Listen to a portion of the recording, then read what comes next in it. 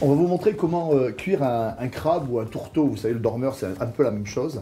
Vous allez voir, c'est rapide, c'est simple, et puis euh, c'est jamais meilleur que cuisiner maison. Alors Damien, il faut d'abord le choisir, son crabe.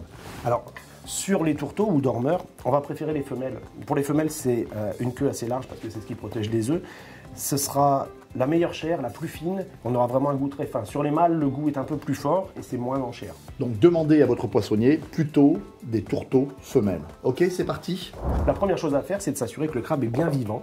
Ensuite, qu'il ne manque aucune patte. Donc il y a 10 pattes sur les crabes. Il ne faut pas qu'il manque de pattes. Ce sont des décapodes. Si vous avez la chance d'avoir un crabe avec des petits coquillages, des, petits- des petites choses incrustées sur la carapace, c'est d'autant mieux parce qu'en fait, ce sont des animaux qui muent.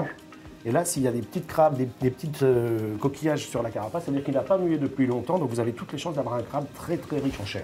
Allez, on le rince C'est parti. Le crabe est rincé. On va préparer le liquide de cuisson. Alors, de l'eau bouillante, mais on va l'assaisonner.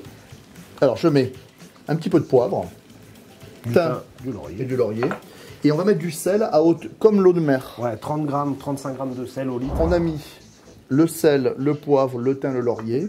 On peut éventuellement faire un petit courbouillon, mais euh, Oui. il n'y a pas vraiment d'osmose importante. Alors là, c'est parti. Par contre, il faut beaucoup de sel. Dès que l'eau est à ébullition, qu'elle est assaisonnée, on plonge le crabe tout de suite.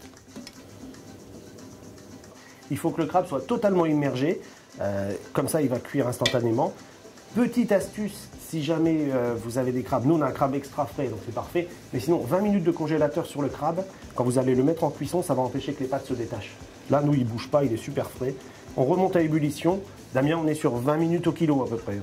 Voilà, un tourteau, un kilo, vous comptez 20 minutes, vous le pesez, 800 grammes, on est à 15-16 minutes.